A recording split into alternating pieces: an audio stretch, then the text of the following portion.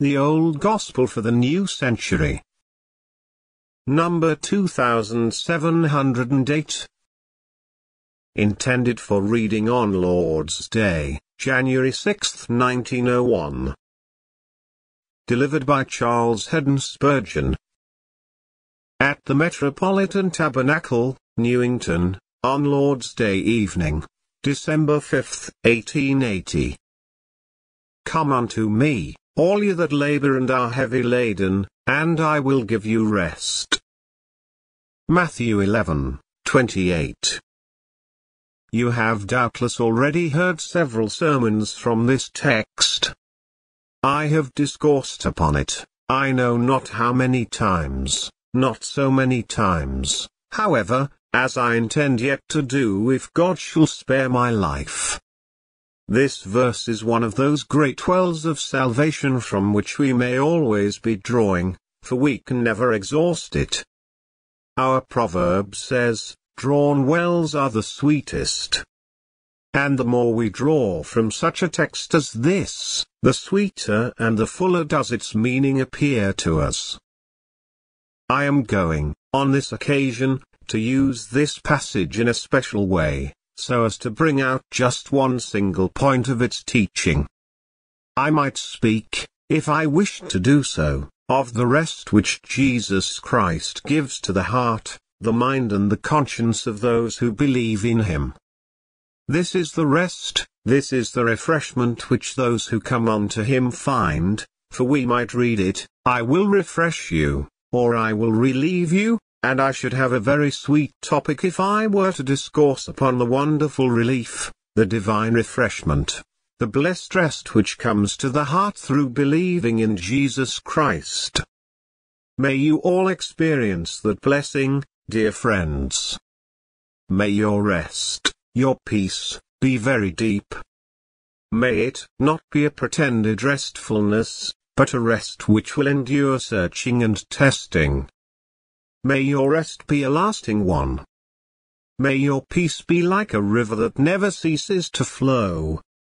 May your peace be always a safe one, not a false peace which will end in destruction, but a true, solid, justifiable peace which will endure throughout your whole lives and ultimately melt away into the rest of God at His right hand forever.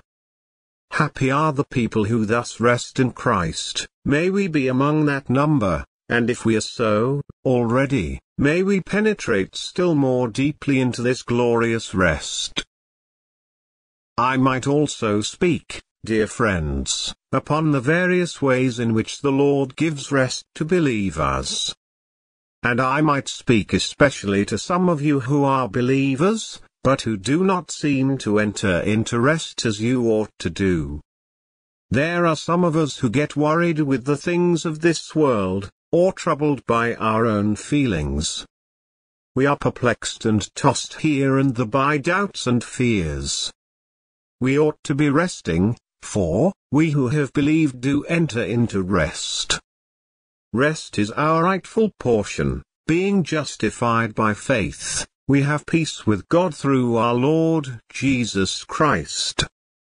But, somehow or other, some who are thus justified do not seem to realize this peace, or to enjoy this rest as they should and, perhaps, even while I am talking, they may discover the reason why they do not have all the rest and peace which they might have. Certainly, our Lord Jesus Christ did not speak only to one particular class when he uttered the words of our text. To all who labor and are heavy laden, whether they are advanced Christians, or unconverted people, he says, Come unto me, and I will give you rest. I shall indeed rejoice if, as the outcome of what I shall have to say, it shall happen that some who came in here distressed in spirit, and bowed down in heart, perhaps even fretful and complaining, shall come to Jesus Christ over again, drawing near to him once more, and getting into touch with him again, and so shall find rest unto their souls. It will then be doubly sweet to come and sit around the communion table, all the while resting, resting and feasting, not standing with loins girt and with staff in hand, as they did who partook of the Passover in Egypt, but resting, even as they did who gathered at the Last Supper when the Master reclined in the midst of his apostles. So, spiritually, may your heads be resting on his breast and may your hearts find refuge in his wounds as you hear him say to you again, Come unto me, all you that labor and are heavy laden, and I will give you rest. Yet it is not quite that truth of God about which I am going to speak to you. I want to pick out just this one thought, the glory of Christ, that he should be able to say such a thing as this, the splendor of Christ, that it should be possible for him to say, Come unto me, all you that labor and are heavy laden, and I will give you rest. These words, from the mouth of any other man, would be ridiculous and even blasphemous. Take the greatest poet, the greatest teacher of philosophy, or the greatest king and who is he, with most capacious soul, who would dare to say to all the laboring and heavy laden ones in the whole human race, Come to me, and I will give you rest? Where are the wings broad enough to brood over every sorrowing soul, except the wings of Christ? Where is there a harbour capacious enough to hold all the navies of the world? to give refuge to every tempest-tossed boat that ever crossed the sea. Where, but in the haven of the soul of Christ, in whom dwells all the fullness of the Godhead. And, therefore, in whom there is room enough and to spare for all the troubled children of men. That, then, is to be the drift of my discourse. May the Spirit of God graciously help me in following it. 1 and, first, I call your attention to the personality of this call. Come unto me, all you that labor and are heavy laden, and I will give you rest. If you look at the text carefully, you will notice that there is a double personality in the call. It is, Come you, come you, to me, and I will give rest to you. It is two persons coming near to each other, the one bestowing and the other receiving rest. But it is not, in either case, a fiction, a figment, a phantom, a myth. It is you, you, you, you who really labor and are heavy laden and who, therefore, are real beings, painfully conscious of your existence. It is you who are to come to another being who is as real as you are, one who is as truly a living person as you are living persons. It is he who says to you, Come you to me, and I will give rest to you. I want you, dear friends, to have a very clear conviction of your own personality, for, sometimes, people appear to forget that they are individuals, distinct from everybody else. When there is a guinea to be given away and the jingle of it is heard in the distance, most men are conscious of their own personality, and each one looks out for himself and tries to secure a prize.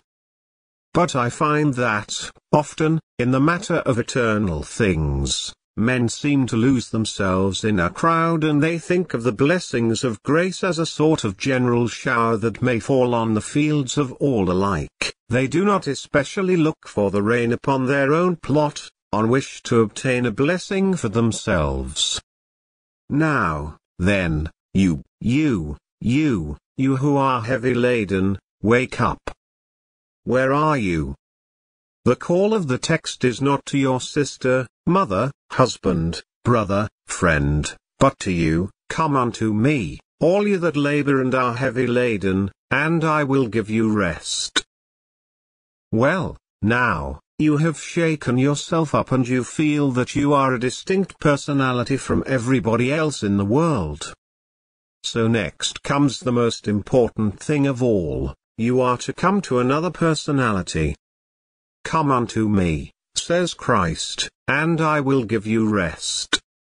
Here I ask you to admire the wonderful grace and mercy of this arrangement. according to Christ's words, you are to obtain rest of heart, not by coming to a ceremony, or to an ordinance, but to Christ, Himself. Come unto me. He does not even say, Come to my teaching, to my example, to my sacrifice, but, Come unto me. It is to a person you are to come, to that very person who, being God, and equal with the Father, laid aside his glories and took upon himself our human flesh. First, in our mortal flesh, to serve. Then, in that flesh, to die. And you are to come to that person.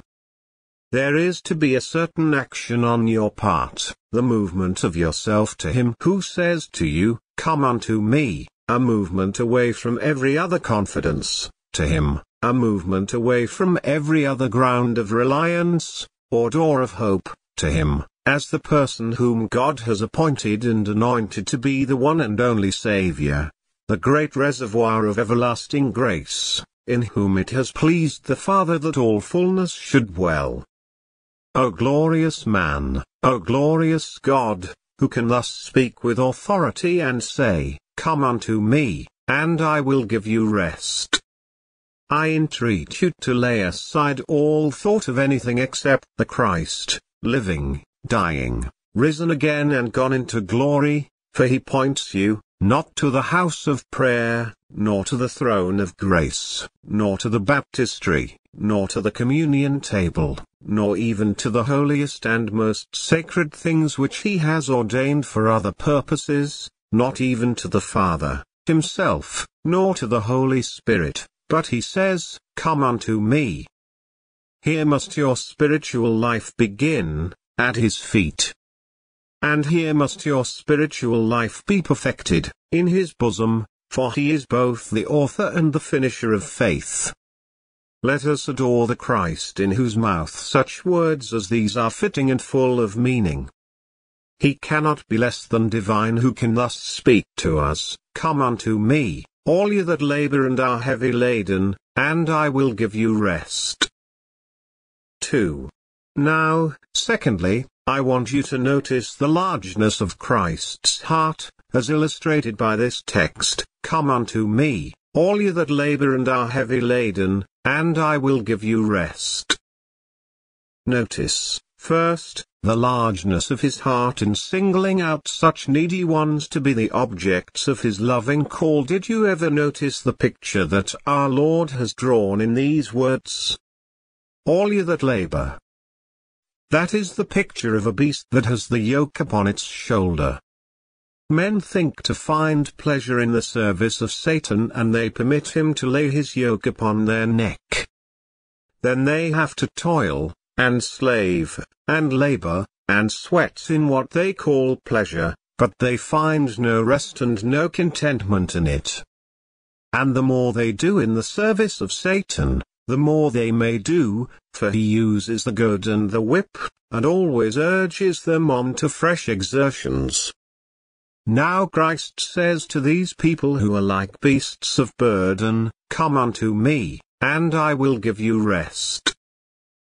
But they are in a worse plight even than I have described, for they not only labor like the ox at the plough, but they are also heavily laden. Now, it seldom happens that men make a horse or an ox to be both the beast of draught and the carrier of a load at the same time, but that is how the devil treats the man who becomes his servant. He puts him in the shafts of his chariot and makes him drag it along, and then leaps upon his back and rides as a postilion. So the man labors and is heavy laden, for he has both to draw the vehicle and to carry the driver.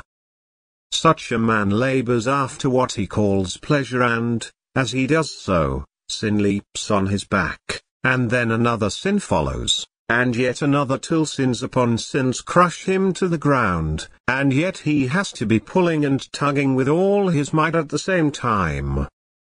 This double toil is enough to kill him.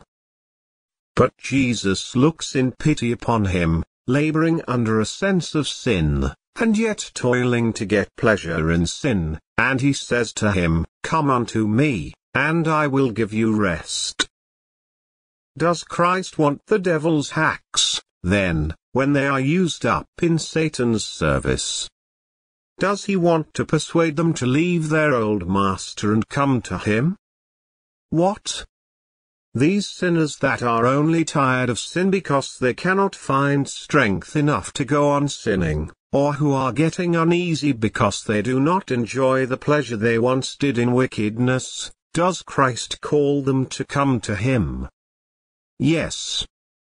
And it shows the largeness of His heart that He should be willing to give rest to such laboring and heavily burdened ones. But the largeness of his heart is seen in the fact that he bids all such sinners to come to him, all such sinners, I repeat. What a great deal that little word, all, includes.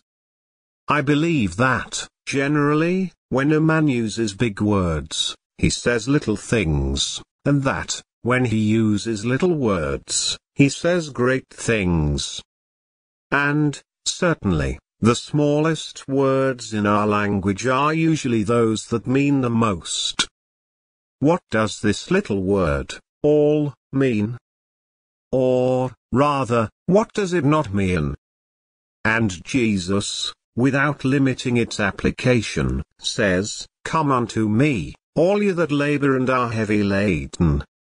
Oh, the magnificence of the love and grace of Christ, that he should have invited them all to come to him.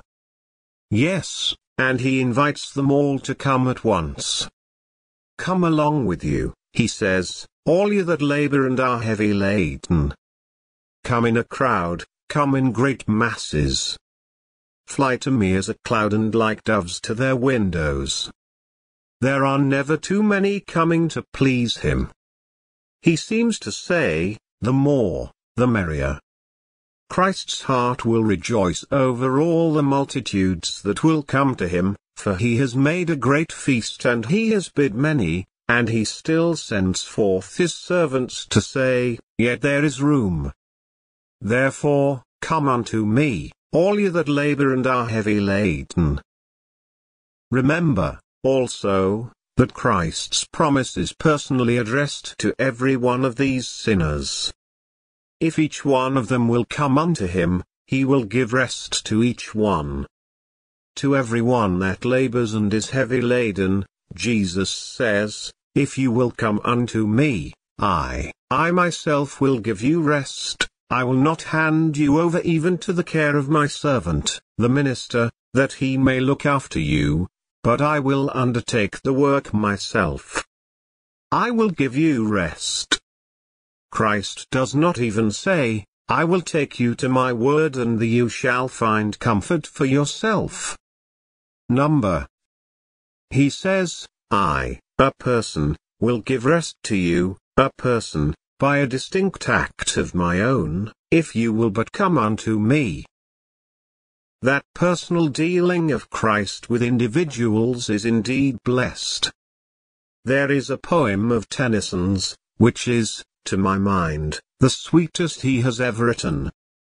It is concerning a little child in a hospital who heard that she was about to undergo an operation, through which it was not likely that she would live. So she asked her young companion in the next bed what she had better do. She bade her tell Jesus all about it and ask him to take care of her. And then the child inquired, But how will Jesus know me? The little ones were rather puzzled because there were such long rows of beds in the children's hospital and they thought that Jesus had so much to do, that perhaps he would not know which little girl it was that wanted him to take such special care of her. So it was agreed that she should put her hands out of the bed, and when Jesus saw her hands, he would know that she was the little girl who needed him. The scene, as the poet describes it, is most touching. I do but mar it in the telling, for, in the morning, when the doctors and nurses passed through the ward, they knew that Jesus had been there, and that the little one had gone to him without any operation. He had taken care of her in the best possible way, and the lay the little hands out of the bed. Well, now, we need not do even as much as that, for the Lord Jesus knows each one of us and he will come personally to each one of us and give us rest. Though it is quite true that he has a great deal to do, yet he can still say, My Father works, and I work, for the whole universe is kept in working order by his almighty power and he will not forget anyone who comes to him. Just as a person who knew that he had abundant provision, might say to a great crowd of hungry people, Come along with you, and I will feed you all so Christ knows within himself that he has the power to give rest to every weary soul that comes to him. He is quite certain of it, so he does not say, Come to me, and I will do the best I can with you. Or, possibly, if I exert myself, I may be able to give you rest. Oh, no. He says, Come unto me, and I will give you rest. It is quite a matter of course with him, for, let me tell you that he has tried his hand upon millions and he has never failed once. So he speaks with an air of unwavering confidence. I am certain, as my master was certain, that if there is any soul among you that will come to him, he can and he will give rest unto that soul. He speaks with the consciousness of possessing all the power that is needed and with the absolute certainty that he can do the deed which is required. For, mark you, Jesus gives this promise knowing all about the cases that he describes. He knows that men are laboring and that they are heavily laden. There is not a grief in the heart of anyone in this house which Jesus Christ does not know for he knows all things. Your thoughts may be twisted in all manner of ways, and all your methods of judging may be like a labyrinth, a maze of which you think no one has the clue. You may be sitting here and saying to yourself, nobody understands me, and I do not even understand myself. I have become entangled in the meshes of sin and I cannot see any way of escape. I am perplexed beyond all possibility of deliverance. I tell you, friend, that Christ does not speak without meaning when he says, Come unto me, and I will give you rest. He can trace the thread through the tangled skein and he can draw it out in one straight line. He can follow all the winding of the labyrinth till he reaches its very center. He can take away the cause of your trouble, though you, yourself, do not know what it is. And what to you is shrouded in mystery, an impalpable grief that you cannot get at or grapple with, my Lord and Master can chase right away. He speaks of what he knows he can do when he gives this promise, for his wisdom is such that he can perceive the needs of each individual soul and his power is vast enough to meet all those needs. And so he says to every laboring and burdened spirit within this house, Come unto me, and I will give you rest. Be it also remembered that when Christ gave this promise, he knew the number of those who were comprehended in that word, although, to us, that, all, includes a multitude that no man can number, Yet the Lord knows them that are his. And when he said, Come unto me, all ye that labor and are heavy laden, and I will give you rest, he did not speak without knowing that there are tens of thousands, and millions, and hundreds of millions that labor and are heavy laden, and he meant to speak to all that vast throng when he said, Come unto me, and I will give you rest. Am I making you think, dear friends, of the vastness of my Master's power and grace? Am I causing you to adore him? I hope I am. My own soul desires to lie prostrate at his feet, lost in a sweet sense of the greatness of that grace which can speak thus, and yet which speaks not beyond the truth when it says to the whole race of ruined men, Come unto me, all you that labor and are heavy laden, and I will, to an absolute certainty, give you rest. It must not be forgotten, also, that what Christ promised was intended for all time. Here is an individual speaking who was despised and rejected of men. Let him stand out clearly before your eyes, the carpenter's son, the son of Mary, a man of sorrows and acquainted with grief. Yet he said to those who gathered around him, Come unto me, and I will give you rest. But he looked right over the intervening centuries and he spoke to us who are assembled here, and then he looked on all the multitudes of this great city, and of this country, and of all the nations of the earth, and he said, Come unto me, and I will give you rest.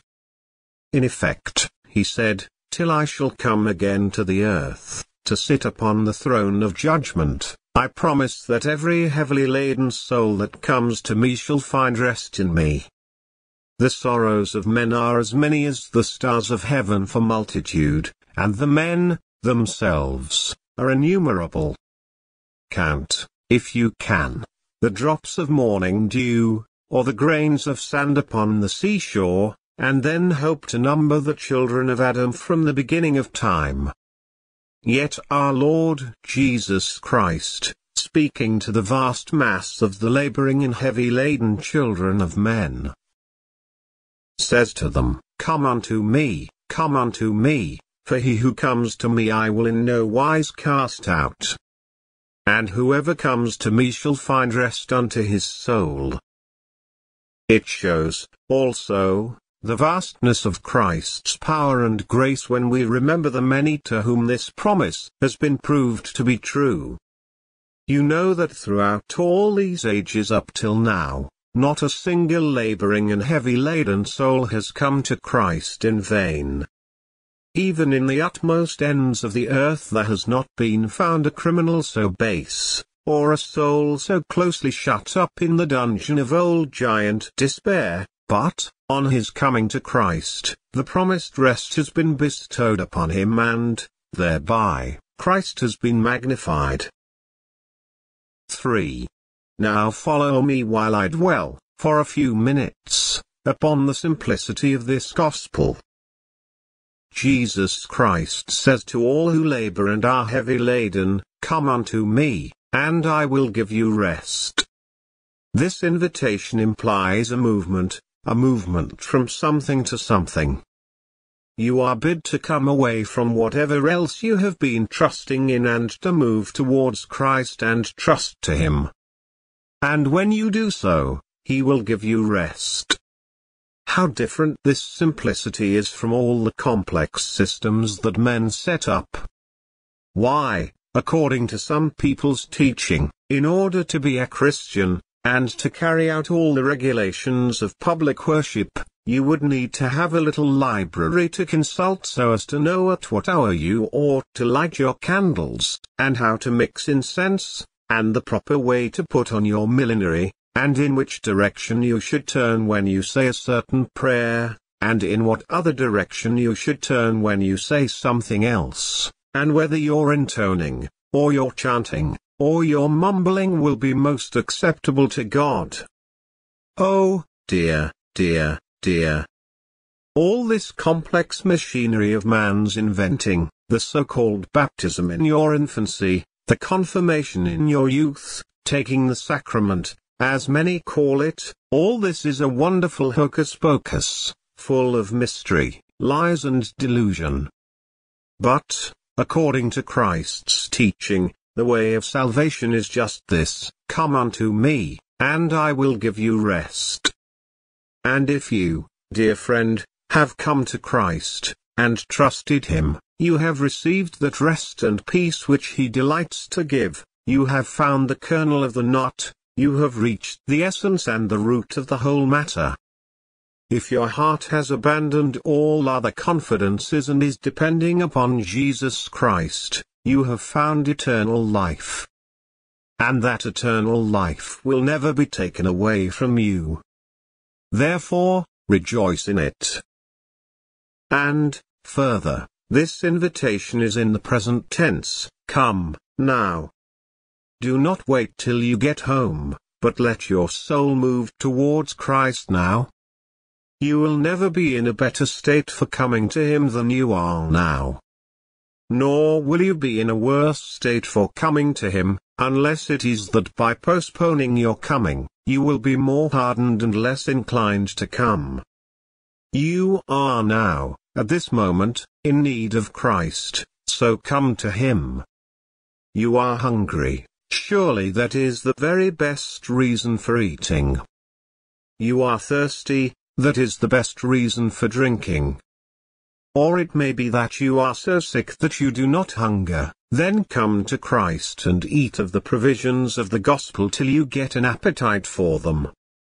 I like, sometimes, when a sinner says to me, I do not thirst for Christ, to say to him, then come and drink till you do thirst, for, just as it is with a pump that will not work, you must first pour water down it, so is it with some men.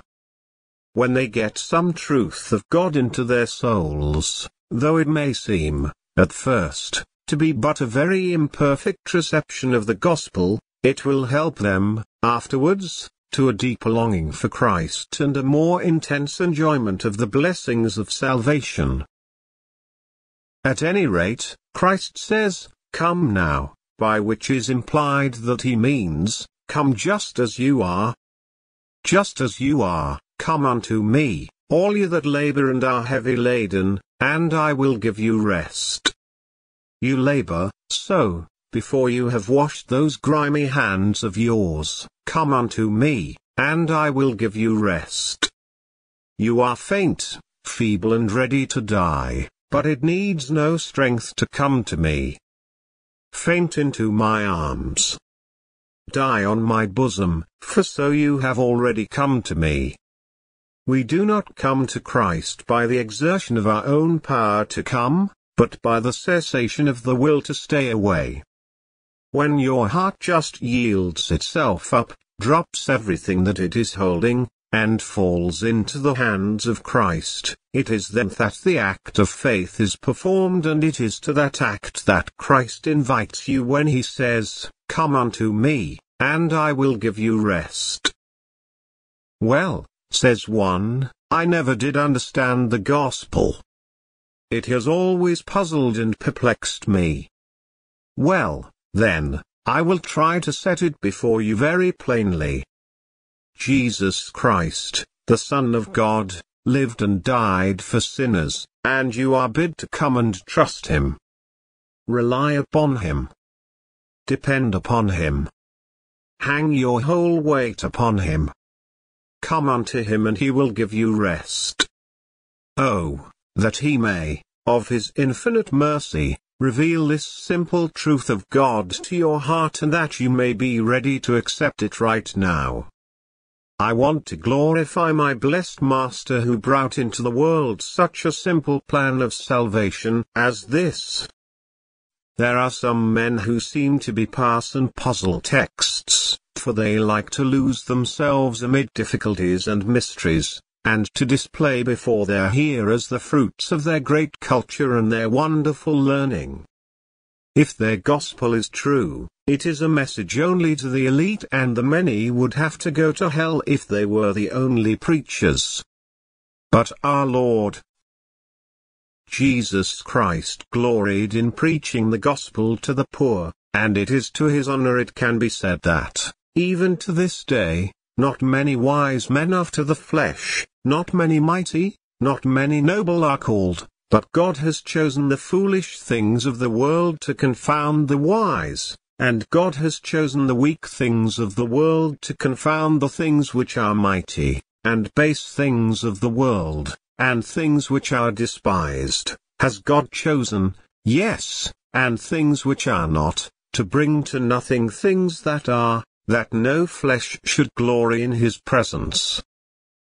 It is so blessed to think that there is a gospel that will suit the man who cannot read, and that will suit the man who cannot put two consecutive thoughts together, and that will suit the man whose brain has almost failed him in the hour of death, a gospel that suited the thief dying upon the cross, a gospel so simple that if there is but grace to receive it, there needs no great mental power to understand it. Blessed be my Master for giving us a gospel so simple and so plain as this.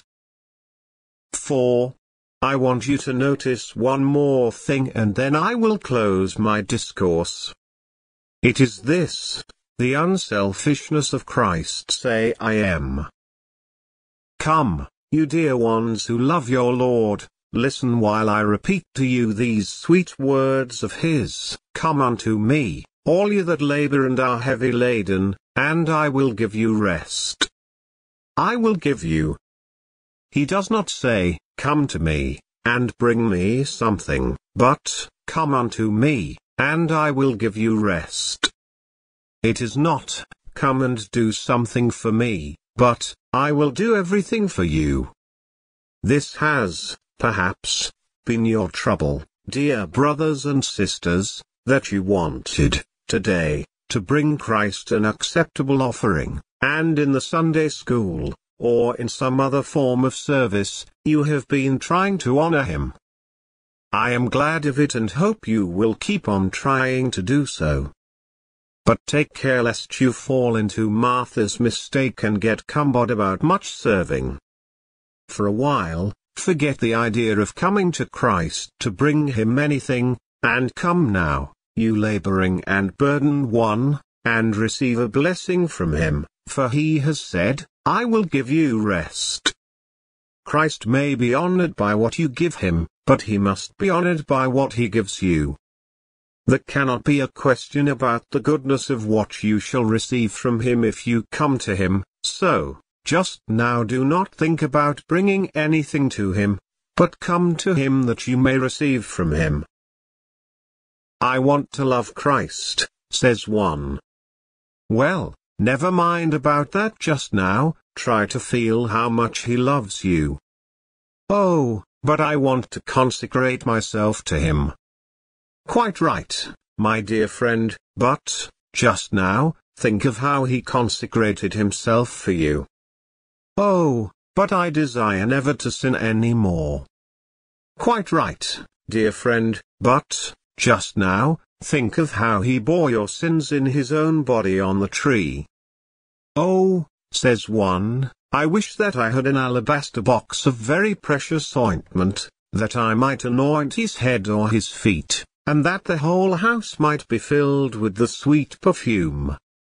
Yes, that is all very well, but listen. His name is as ointment poured forth, if you have not any ointment, he has. If you have none to bring to him, there is plenty that he will give to you. When my dear master calls any to come to him, it is not for his own gain that he bids them come. When he presses his favors upon them, when he comes with great promises of rest, it is not a bribe with which to buy their services. He is too rich to need the best and strongest among us. He only asks of us that, of our great charity, we will be kind enough to take everything from Him. This is the greatest thing we can do for God, to be emptied, so that His fullness may flow into us. That is what I want to do when I go down to the communion table, I want to just sit there and not try to think of anything that I can offer to my Master, but to open my soul and to take in all that He is willing to give me. There are times with you shopkeepers when you are dealing out your goods, but there must also be times for bringing in, you know. So, now, open the great warehouse door and let the goods come in wholesale. Let the whole Christ come into your soul. I do not feel, says one, as if I could enjoy my Lord's presence. But why not? Because I have been so hard at work for him all day, and now am I have so much care, and I am so heavy laden. You are the very one whom he especially calls to come to him. Do not try to do anything except just open your mouth wide, and he will fill it. Come now, and just receive from him, and glorify him by receiving. O sun, you give light, but not till God makes you shine. O moon, you are gladdening the evening, yet not with your own brilliance, but only with borrowed light. O fields, you yield your harvests, but the great husbandman creates your grain. O earth, you are full, but only full of the goodness of the Lord. Everything receives from God and praises Him because it does receive. So let my weary heart lie still beneath the showers of love. Let my heavy laden soul rest in Christ and gladden Him by being glad in Him. God bless you all, and may Christ be glorified in your salvation and your sanctification, for His dear name's sake. Amen.